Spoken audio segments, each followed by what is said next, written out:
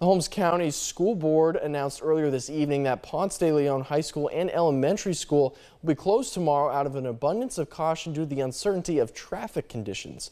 The traffic conditions along the Highway 81 corridor during the peak time for picking up students on buses is the reason behind the two schools closing for the day. Last week, the town was able to mitigate the dangers of traffic due to a solid understanding of traffic patterns, but that does not hold true for tomorrow. The Holmes District School Board said in a Facebook post that the welfare and risk associated with being on the highway tomorrow cannot be reasonably mitigated. This closure extends both to students and employees of the two schools. For more information on the closures, go to the Holmes District School Board Facebook page.